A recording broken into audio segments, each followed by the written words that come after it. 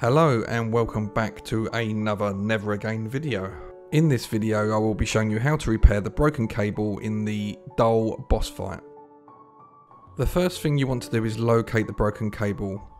Once you have found the broken cable, you can follow the cable back to its electrical box by just following the cable back or by pressing E and having it highlight the exact box. Once you have located the box, pull the lever to shut the power off Follow the cable back and press mouse button 1 to connect the cables back together. Follow the cable back to the junction, push the lever up to put the power back on. The light on the door is now on, which shows that the power is now running through the system.